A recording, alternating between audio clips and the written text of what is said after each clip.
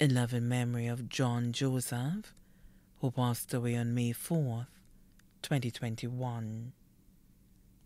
Letting go. The angels gathered near your side, so very close to you, for they knew the pain and suffering that you are going through. I thought about so many things as I held tightly to your hand. Oh, how I wish that you were strong and happy once again. But your eyes were looking homeward to that place beyond the sky where Jesus held his outstretched arms.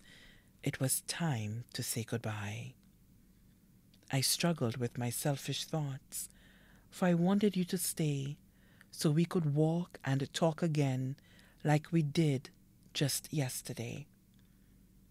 But Jesus knew the answer, and I knew you loved him so. So I gave to you life's greatest gift, the gift of letting go. In remembrance of a devoted husband, a loving father, a caring brother, a wonderful uncle, a great friend, time passes, memories stay loved and remembered every day. Continue resting in peace until we meet again. Words provided by the family.